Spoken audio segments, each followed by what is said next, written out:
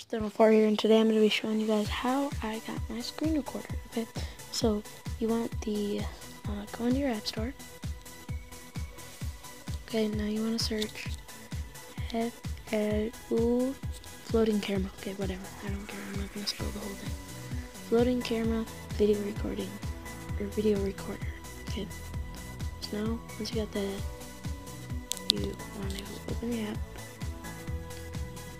um, and then this is fails from, I have it set so it takes a picture. If I hit up on my volume or down, so, sorry, it's there, there, there, there, okay, I'm gonna this trash that, now, this is my floating camera, video recordings, those are just me hitting I'm just hit on.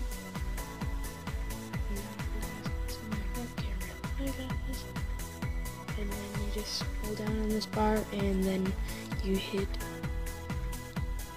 floating camera. You'll see this black thing and then just hit flip. Then you guys can see my face cam right here. My hair's so bad. Okay. And then that's about it. So this is Cristiano 4 here. I just did this video to teach you guys how to make a face cam. I'm, I'm getting so close to the microphone so you guys can hear me. Okay, that's it. Cristiano 4 here signing out. Peace, guys.